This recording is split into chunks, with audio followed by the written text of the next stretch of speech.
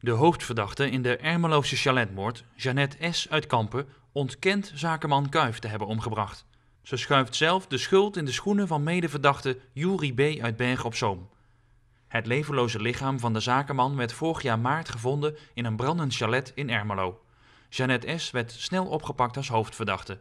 Ze zou na verschillende seksafspraakjes de zakenman hebben afgeperst, waarna het compleet uit de hand is gelopen. Medeverdachte Juri legde eind vorig jaar een belastende verklaring af die de theorie van justitie ondersteunt dat Jeannette de hoofddader moet zijn geweest. Jeannette zou Kuif hebben omgebracht door met een bijl op een min te hakken. Jeannette, die vandaag voor het eerst haar gezicht liet zien in de rechtbank, zegt het tegenovergestelde.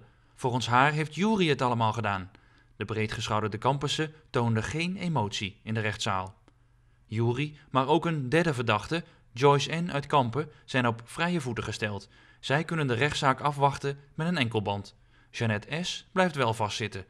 De rechtszaak gaat eind april verder.